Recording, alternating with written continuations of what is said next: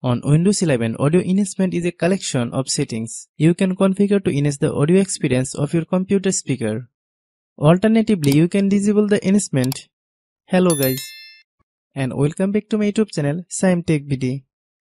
Today I will discuss how to disable audio enhancement on Windows 11. I have a request, if you are new to channel, please subscribe and stay with us. Open settings on Windows 11.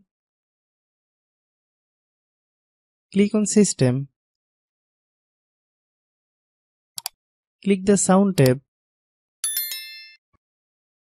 Under the Output Device section, select the headphones or speaker settings. Under the Output Settings section, select the Turn off option in the Audio Enhancement settings. After you complete the step, the audio enhancement settings will disable on Windows 11. Hope you understand. I have a request, if you are new to channel, please subscribe and stay with us.